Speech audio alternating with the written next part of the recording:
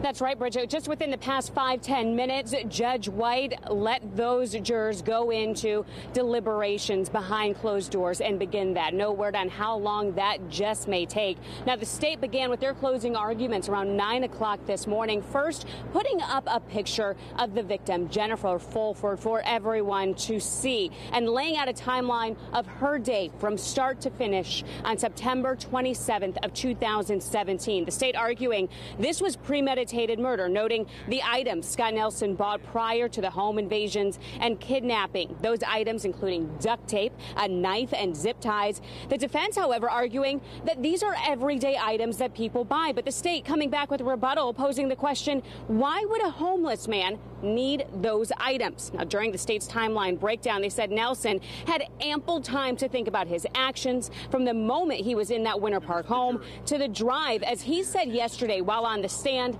to get rid of Fulford to those final moments when he led her into the woods and stabbed her seven times.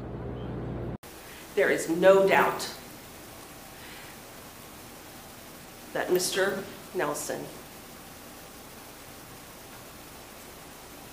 plotted, planned, premeditated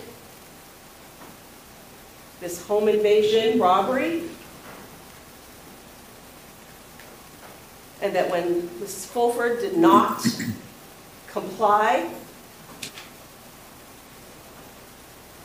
with his requests, she became this collateral damage.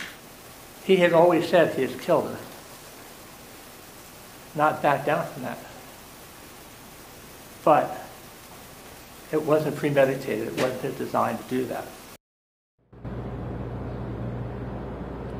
And again, those jurors began deliberations within the past five to 10 minutes. Judge White saying that we could go into the penalty phase as early as Monday. Of course, we are going to stay out here and we will continue to bring you the very latest and let you know when the jurors are back in the courtroom today.